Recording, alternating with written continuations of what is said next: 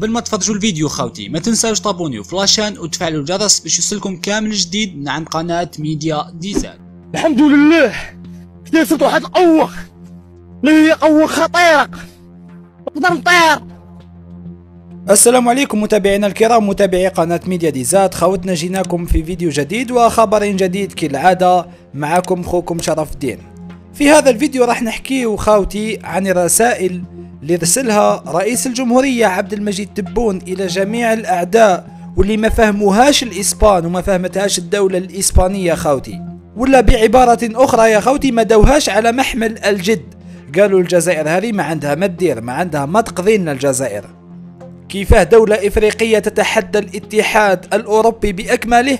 جامي صرات هذه. وليكن بعلمكم يا إخوتي الكرام أن الجزائر هي الدولة العربية الوحيدة والإفريقية الوحيدة التي فرضت عقوبات على دولة من الاتحاد الأوروبي يا خوتي. كانت دائما العكس. دائما الاتحاد الأوروبي هو من يقوم بفرض عقوبات على الدول الإفريقية. ولكن كنت تلاحظوا يا إخوتي الكرام أن رئيس الجمهورية خرج في عديد الخرجات تاعو الإعلامية وتكلم بلهجة ما فهموهاش الإسباني يا خاوتي ما فهموهاش مليح. وبسبب عدم فهمهم لهذه اللهجة الجدية من عند الجزائر راهم يخلصوا فيها الآن. المهم خاوتي قبل مشاهدة الفيديو كالعادة وصلوا 4000 5000 لايك وما تنساوش أيضا خاوتي خليوا لنا تعليقاتكم حول هذا الفيديو. ودعمونا إخوتي الكرام بالانتساب إلى القناة. تلقوها أمام زر الاشتراك. راح نشوفوا أول رسالة وجهها رئيس الجمهورية للإسبان واللي هي كانت قبل شهر تكلم رئيس الجمهورية. اسمعوا مليح خاوتي وش قال؟ راه في دفء في بلاده. مليح هنايا ان شاء الله الشيء اللي قامت به إسبانيا غير مقبول؟ اخلاقيا وتاريخيا. سمعتوا خاوتي هذه الرسالة الأولى اللي وجهها رئيس الجمهورية إلى الإسبان. الشيء اللي درتوه غير مقبول أخلاقيا ولا تاريخيا. ما هوش مقبول تماما. الآن يا خاوتي راح نشوفوا إلى واحد الفيديو ورسالة قوية إلى كل الدول الأعداء. وحقيقة يا خوتي رئيس الجمهورية كان عند الكلمة تاعو.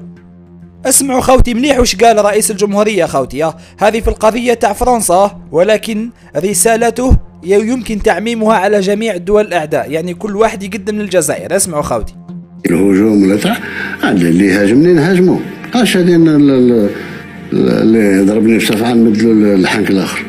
راكم تسمعوا يا خوتي قال لهم ما بقاش اللي ضربني بصفعة نمدلو الحنك الآخر. بكري هذه كانت في عهد بوتفليقه ربي يرحمه على كل حال. ولكن كانت بكري هذيك الحالة تاع أنه فرنسا تجي تاكل من الجزائر الإسبان تجي تاكل هنا في الجزائر.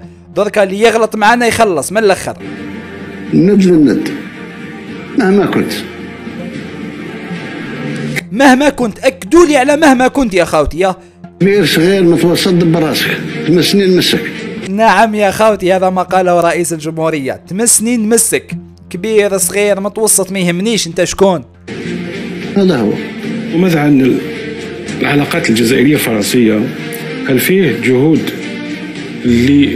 لإعادة العلاقات إلى وضعها الطبيعي سيادة الرئيس. بشرط أن الآخر يفهم باللي الند للند ماهوش استفزاز عليه. شوفوا يا خاوتي يا أن الجزائر ولات تعامل كل دولة عدوة ولا كل دولة صديقة بسياسة الند للند يعني تغلط معايا راح نغلط معك من الأخر؟ شتو هذاك القانون تاع نيوتن يا خاوتي تبونه هنا وطبقوا. تاع كل فعل رد فعل. هذه هي يا خاوتي من الأخر؟ ما بقاتش الجزائر اللي تسكت والجزائر اللي قافلة فمها وإنما الجزائر اللي ترد.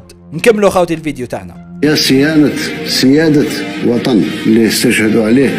مثل ما قلت 5 ملايين و630 ألف شهيد من 1830 إلى 1962 ماهوش ماهوش بسهولة أنا مانيش محتاجك. اكدوا لي على الكلمة هذه. أنا مانيش محتاجك. ما أنا محتاجين لا فرنسا لا إسبانيا لا دول الاتحاد الأوروبي بأكملها. وعلى بالي يا خوتي بأن القضية راح يعني تتوسع إلى الاتحاد الأوروبي والدول عديدة من الاتحاد الأوروبي. راح تشن هجمات ضد الجزائر. ولكن صدقوني ما ناش محتاجين لهذه الدول تماما. من الأخر إحنا الجزائريين نعيشوا وحدنا اخويا ناس إيه التعاملات لازم تتغير. تعاملات من نبيع ونشري معاك يا باسبور باش ندخل تحت تحت حمايتك وجناحك أنا راني كبير أنا ما نحتاجش أنا راني كبير الجزائر دولة كبيرة. الجزائر دولة عندها قيمة لازم يفهموها. جميع الأعداء تاع الجزائر لازم تفهمها. ديروا مليح في راسكم بلي الجزائر تاع قبل راحت. ما بقاتش هذيك. دوك الجزائر تغلط معنا تخلص. هذه هي. وأيضا إخوتي الكرام الجزائر هذه ما تقبلش الخيانة كما دارت لنا إسبانيا خاوتي. نكملوا الفيديو. جناحك هذا هو. نتعامل مع معاك ما كاش مشكل ما تعرقل لي مشاكل مصالحي ما نعرقل لك مصالحك متفقين. لكن إسبانيا عرقلت مصالحنا. نعم خوتي إسبانيا عرقلت مصالحنا أو حتى أنها خانتنا. يمكن وصفها بالخيانة العظمى للجزائر. نعم يا خوتي ضربتنا في الظهر لأنه في ال في, ال في الأول كانت دائما تساند القرارات الجزائرية وما تقوله الجزائر ولكن بعدها دارت علينا وساندت هذيك تاع الحكم الذاتي في في الصحراء الغربية من قبل المغرب. وبالتالي الجزائر عندها الحق عندها كامل الحق باش ترد عليك يا الإسبان وتفرض عليك عقوبات اقتصادية. ما كان لا تشكيو الاتحاد الأوروبي وما على باليش والبلا بلا تاعكم. نورمالمون راكم فهمتوا رواحكم. ولكن باش تفرض عليا حاجة ما تفرضش. ولا واحد قادر يفرضها ما عدا الله عز وجل. نعم ما عدا الله عز وجل يا إخوتي الكرام لقادر يتحكم في الدولة الجزائرية. لقادر إخوتي يفرض على الجزائري وش يدير؟ ولكن بقية الدول ولا الخونة ولا الأعداء كلهم سواسية. نعاملهم بمبدأ الند للند. شفتوا يا خوتي هذه رسائل تاع رئيس الجمهورية عبد المجيد تبون سابقا ما دواش الإسبان على محمل جد شغل كانوا يضحكوا ولا ما على باليش يستهزوا به. المهم ما دواش على محمل جد لأنه لو, لو كان داوها على محمل جد ما كانوش مدايرين في بالهم أنه راح توصل إلى هذه النقطة يعني. لو كان كانوا مدايرين داروها على محمل جد يا خوتي ما يوصلوش إلى هذه النقطة.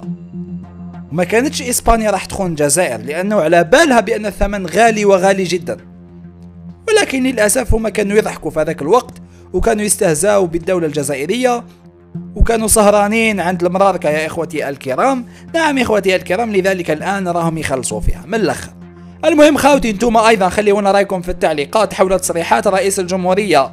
إخوتي والسلام عليكم ورحمة الله تعالى وبركاته. نلتقي في فيديوهات قادمة. وفي الأخير ما تنساوش ديروا لنا جام وتشاركونا رأيكم في التعليقات. سلام.